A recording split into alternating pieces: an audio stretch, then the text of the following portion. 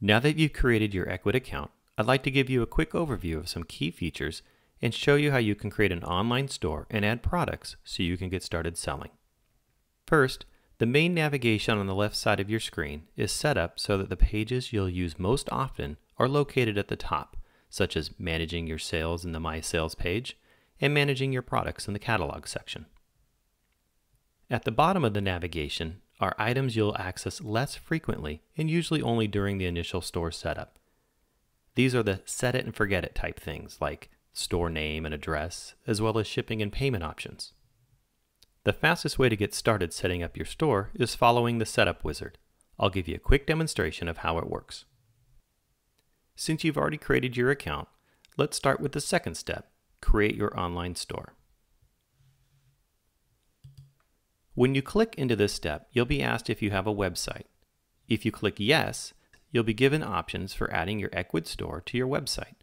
Just pick the platform and follow the instructions. If you're a WordPress user, you'll be happy to know we have a great WordPress plugin for connecting and managing your store within WordPress.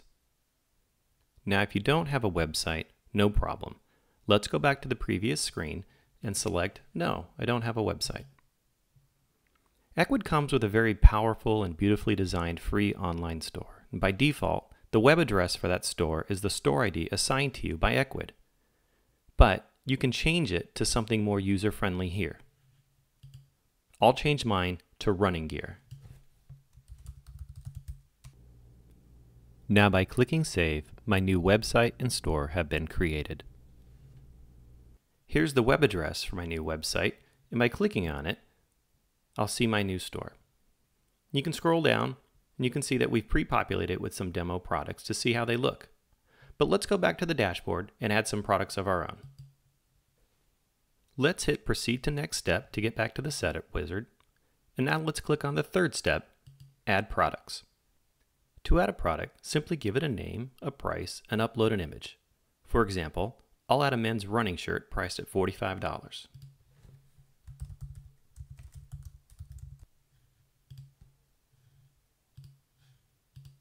And hit save. That product has now been added to my store. Now, if I go back to my store and hit refresh, when I scroll down, you'll see that the running shirt now appears. Most likely when you add products to your store, you'll want to include more than just the product name, price, and image. So let's go back to the Ecwid control panel and see what else we can do. There are three options for adding products.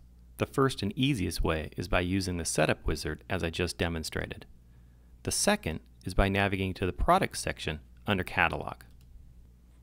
This option for adding products provides more advanced features such as adding product descriptions, additional images, the ability to add product options like size and color, manage inventory, and much more. This will probably be your preferred method for managing products as you build out your store and become more familiar with Ecwid. The third and final option for adding products is the import wizard. This is especially useful if you have a lot of products or if you're migrating from another e-commerce platform.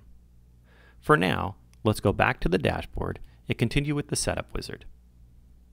Click on step 4, Verify Geo Settings.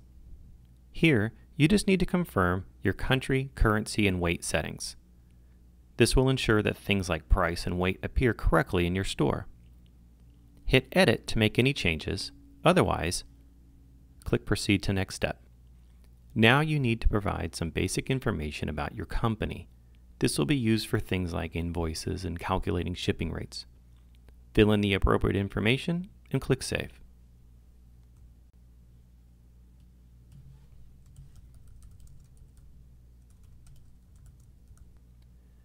Step 5 defines a shipping method for your products. If you sell services or digital goods that do not need to be shipped, just select Disable Shipping for Products. However, if you plan to ship physical goods, then click Set up Shipping.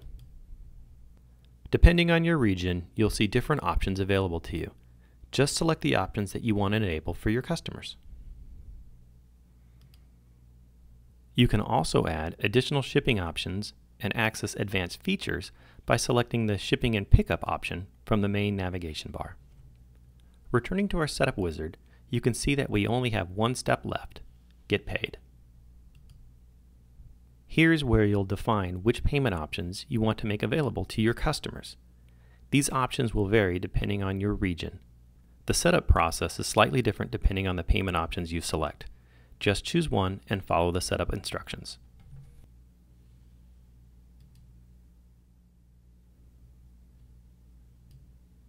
That's it.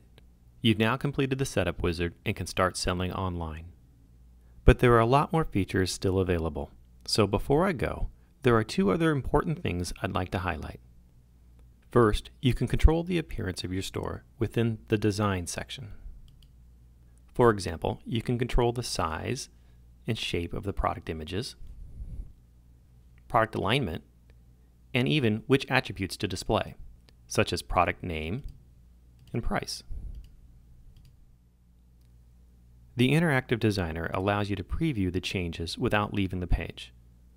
There are lots of options here, so I encourage you to explore and experiment on your own.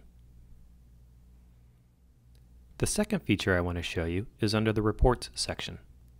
The first option is a reporting app that will show you real-time traffic and trends for your store. This will give you insights on what your customers are doing when they visit your store. Use this information to understand your store visitors and sell more effectively. Because it's an app, it's something you'll need to install. It's free, so just click Install Now and follow the instructions. For additional resources, please visit support.ecwid.com.